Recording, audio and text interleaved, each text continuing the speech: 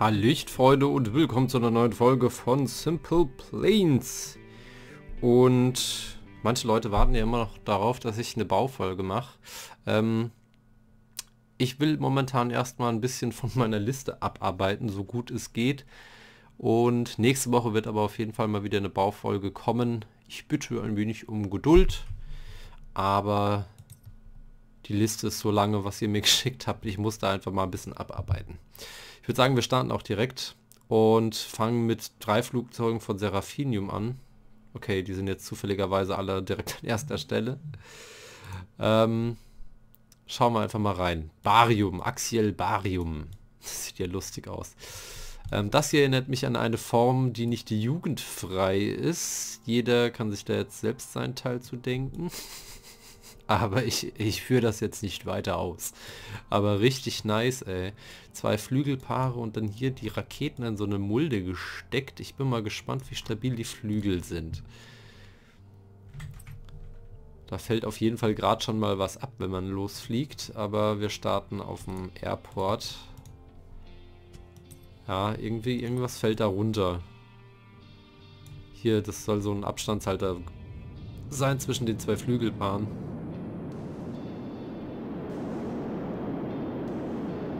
Der Seite auf der Außen... Ne, hier und hier hat es komischerweise funktioniert. Das ist interessant. Warum?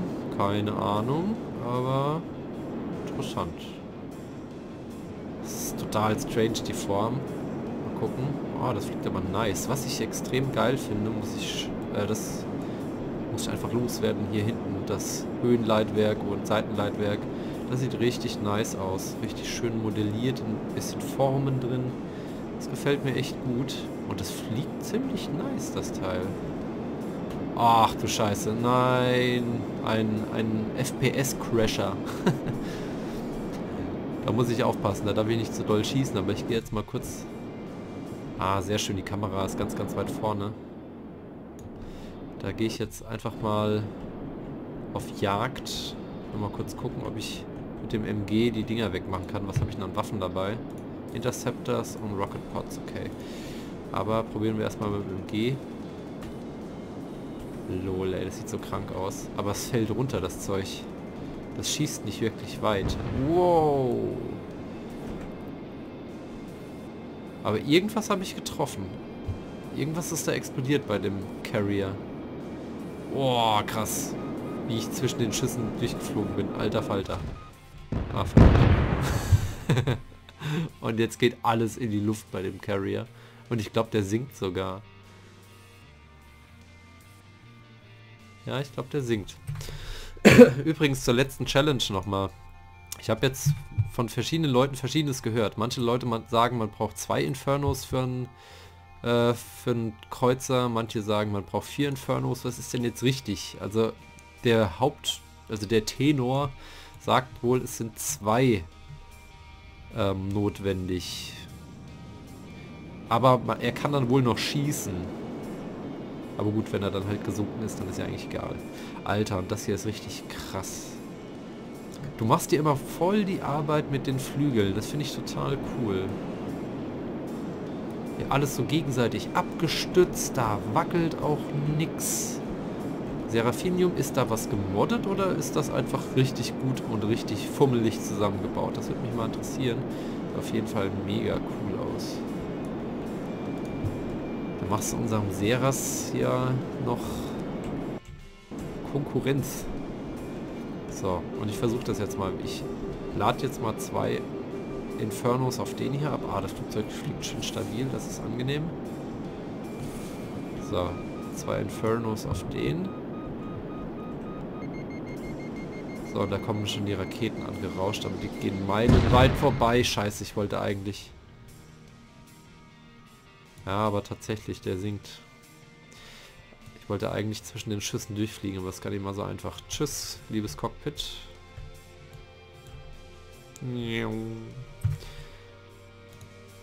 Aber da habe ich jetzt gar nicht die Flugeigenschaften getestet. Uah, muss ich noch kurz machen. Ups, jetzt habe ich aus Versehen zu früh.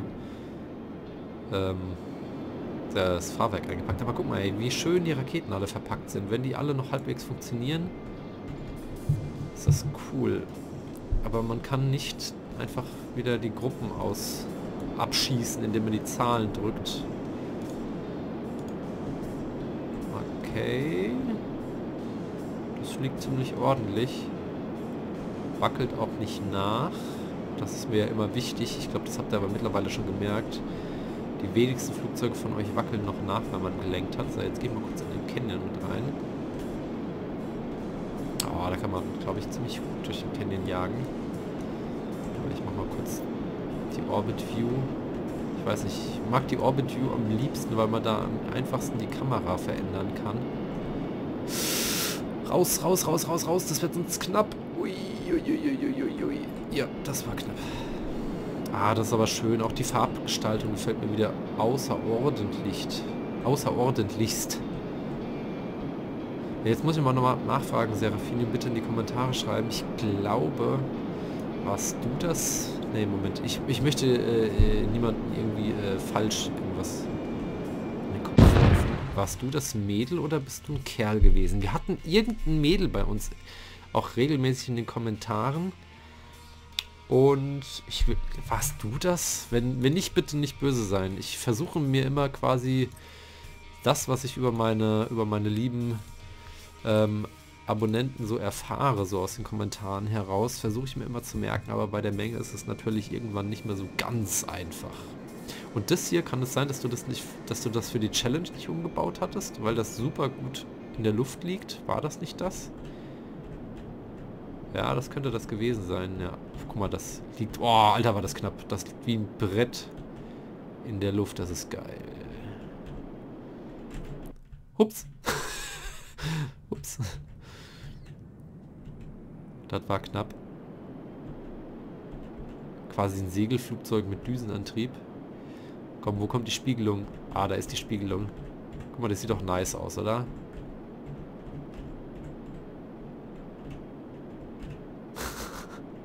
Krass. Nett, richtig nett. So. Und jetzt tauchen wir nochmal richtig ein. Aber das kennen wir schon, ja. Das war auf jeden Fall das von der Challenge, ne? Da waren noch ein paar Raketen dran und so. Schön. Fliegt halt wie eine 1. So, jetzt kommen wir zu einem Prototyp von Last DLP. Ähm, eine Boeing 747. Ich habe mir die schon mal angeguckt. Ich weiß gar nicht, wo ich anfangen soll zu kritisieren. Aber das kennt ihr ja von mir. Ähm, nur zur Info, das ist jetzt halt auch ein bisschen, bisschen fies. Ich war ja mit meiner Freundin einen Tag in Speyer, wie gesagt, Sea Life und Dom und waren halt auch im Technikmuseum. Übrigens im Technikmuseum Speyer und nicht in Sinsheim. Es gibt zwei direkt quasi nebeneinander, was ich nicht wusste. Und da haben sie halt auch eine Boeing 747 aufgebockt auf so einer riesen, so einer riesen Säule. Und das hat viel mit einer Boeing 747 zu tun. Es tut mir leid, aber so ist es. Ähm, klar, gut, der Rumpf, dass der rund ist, das ist klar, aber das ist ja immer so... Was passiert hier? Äh, das ist ja klar, bei Simple Plans nicht so einfach, runde Sachen zu bauen. Ich hoffe, dass die irgendwann noch äh, Bauteile bringen, dass man die auch noch ähm, rund machen kann, große Bauteile. Warum gehen denn die Triebwerke da nicht an? Ich habe jetzt alle Gruppen angemacht. Ah ne, die 1 habe ich nicht angemacht. So, dann gehen die jetzt auch an. Ähm, ja, die Form, gut, ist halt so, ne? Kann man nichts dran ändern. Aber, wo fange ich an? Eine Boeing 747 wird nach vorne hin höher. Weil hier oben, glaube ich, die Brücke drin ist, also das Cockpit drin ist. Hier vorne wäre dann quasi, glaube ich, erste Klasse. Das Problem in dem Speier in der, in der 747 war, ähm, da haben sie halt alle Sitze und so ein Krempel rausgerissen, damit man da halt ordentlich drin rumlaufen kann. Und deswegen hat man dann nicht so gesehen, wo jetzt Economy, wo Business und wo First Class ist. Aber ja, nach hinten ähm, ach, ich weiß gar nicht. Ist es keine 747? Punkt. Aus. Es ist ein schönes Transportflugzeug. Auch der Abstand ähm, einfach von hier nach hier ist einfach zu groß. Und vor allem die 747 hat die Flügel nicht oben, sondern unten. Also so relativ weit unten. Wenn ich mich da jetzt nicht vollkommen täusche. Nenn das Flugzeug einfach anders, nenn es irgendwie großes Passagierflugzeug und dann bin ich, dann bin ich zufrieden. Ich will jetzt mal kurz ins Cockpit gehen. Ich habe nämlich gesehen, da wurde irgendwas reingezimmert. Guck mal, hier mit dem funktionierenden Joystick, das ist schon mal sehr geil. Funktionierender Schubhebel, das ist cool. Allerdings, das hier funktioniert nicht, aber gut, das ist jetzt meckern auf hohem Niveau. Alleine, dass das hier funktioniert. Ich hoffe, vielleicht hast du es ja selber gebaut. Umso größer dann die Leistung. Habe ich immer noch nicht ausprobiert, müsste ich irgendwann mal machen, aber... Oh, sehr stabil das Teil. Aber das steht jetzt ganz weit unten auf meiner Liste, irgendwie so ein funktionierendes Cockpit zu machen. Das ist mir ehrlich gesagt zu so schwer. So, und da purzelt alles runter, Flugzeug purzelt runter. Ah, so, jetzt zerbricht es endlich. So, und jetzt suchen wir einen Flugschreiber. Ah, wie gesagt, es einfach anders. es nicht 747, weil damit hat es leider nicht so viel zu tun. Wie gesagt, es ist nicht böse gemeint, ihr wisst das. Ihr wollt von mir Kritik haben, ihr kriegt Kritik. So, als nächstes Busdriver 242, eine Donja 335. Die hatten wir jetzt schon ab und zu mal im Programm. Ah, guck mal, ey, schön. So ein bisschen mit verschiedenen Farben gearbeitet. Quasi so ein bisschen Tarnanstrich, das mag ich ja.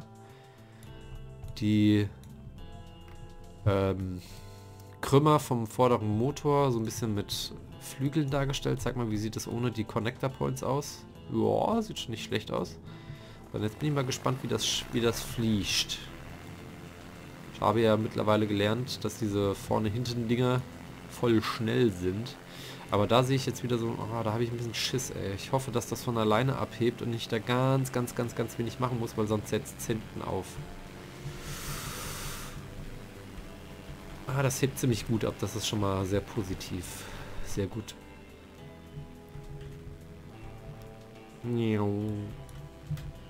Jede Menge MGs. Aber das fliegt erstaunlich nett wieder. Sehr gut. Gucken, ob das Super MGs sind. Einfach mal draufhalten. Irgendwas trifft es da vorne bestimmt schon. Ne, sind keine super mega tollen MGs, aber Gott sei Dank. Weil die zerschießen mir immer die FPS. also wenn ihr mir einen Gefallen tun wollt, bitte nicht diese überall übelst Assi-MGs reinbauen, weil da stürzt ab und zu auch gerne mal das Spiel ab. Mal gucken, wie die so ein Tiefflug ist. Weil die fliegt sehr gerade, wenn ich das jetzt so richtig sehe. So.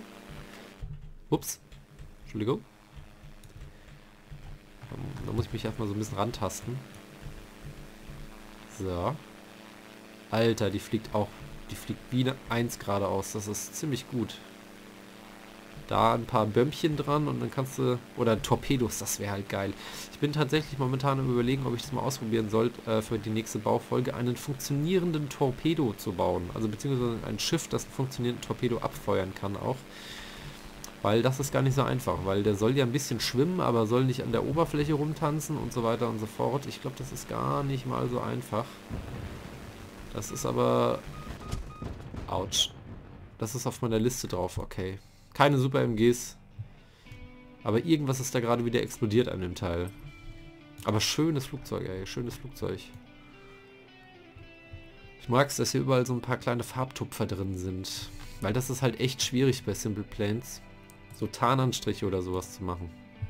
Sehr gut. So, zwei Stück Hämmer noch. Einmal nochmal vom Henry SCP eine BF 109. Die habe ich auch im Technikmuseum gesehen. Ähm, ich weiß nicht, was für eine es war. Es gibt ja tausend verschiedene Versionen von dem Ding. Aber richtig nett, richtig nett. Ach, wie süß. Ein bisschen klein, ein bisschen kurz. Da stimmen die Proportionen nicht.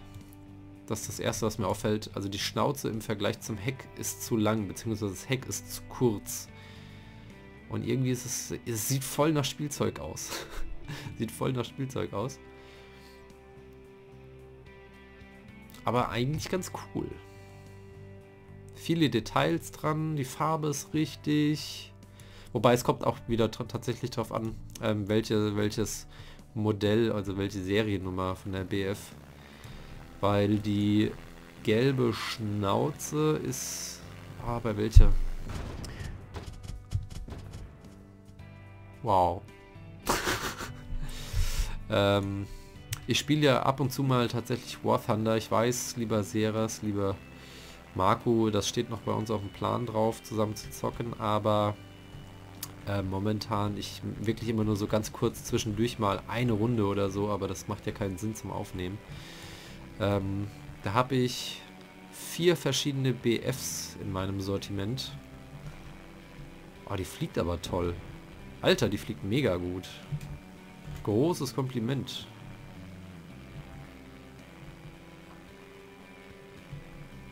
Und ähm, da habe ich auch habe ich auch eine mit, dem, mit der gelben Schnauze. Ah, welche ist das? BF 109 F4? Ich weiß es nicht mehr. Vielleicht werde ich mal gucken. Vielleicht werde ich auch demnächst mal alleine ganz kurz einfach nur ein Video ähm, zu War Thunder machen, mit was ich da so rumfliege. Aber zocken werde ich wahrscheinlich dann nicht so mega viel. Das wäre Assi gegenüber den zwei. Den habe ich nämlich schon versprochen. Aber gut. Egal. Aber wie gesagt, ey, die BF hier. Respektabel.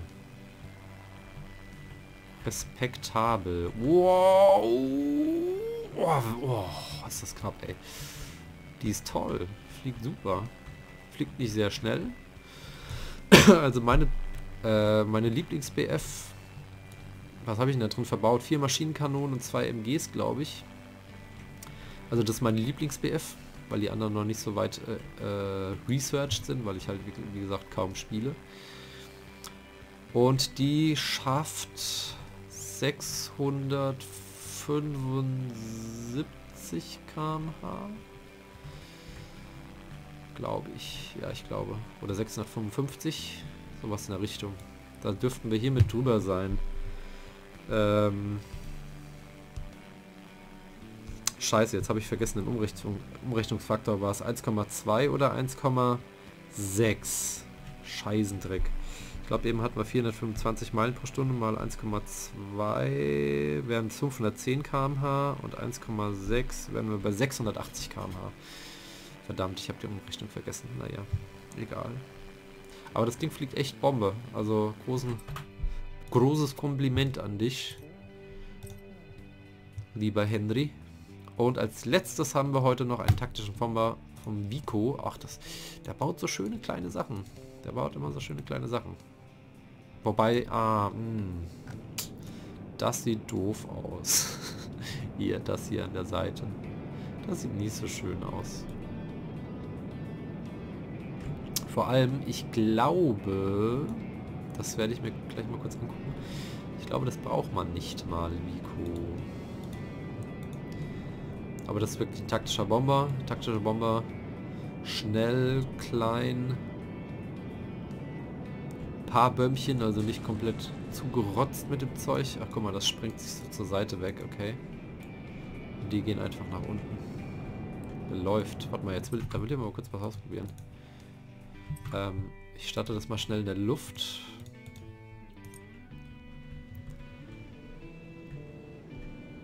Ich will mal kurz einen Anflug auf den Flugzeugträger machen. Und ich hoffe, dass ich einfach, wenn ich die 1 oder die 2 drücke, die Bomben einfach abfallen. Wenn ich das gerade richtig gesehen habe, müsste das der Fall sein. Aber zur Form, sehr schöne Form. Ja, nur irgendwie die, die Triebwerke hätte man irgendwie ein bisschen anders platzieren können. Die sieht irgendwie so dran gepappt aus. Aber gut, das ist, das ist Geschmackssache. Sagt der Affe und bis in die Seife. Also das ist jetzt keine große Kritik. So, und jetzt machen wir mal... Ja, die fallen alle ab. Habe ich es mir doch gedacht. Nein, und voll vorbei. Scheiße. Schade. Schade. So, und jetzt gehe ich da einfach äh, Kamikaze-mäßig mal drauf. Stirb! Mal kurz gucken, wie hast du das gemacht, ey? Ich check das immer nicht.